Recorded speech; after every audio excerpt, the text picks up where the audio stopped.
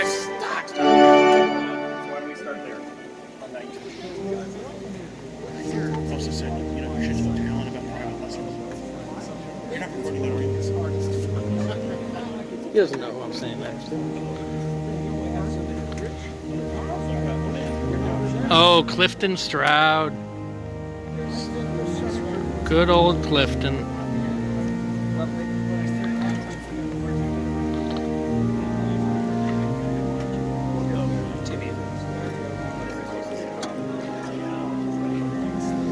yeah, it is functioning, yes.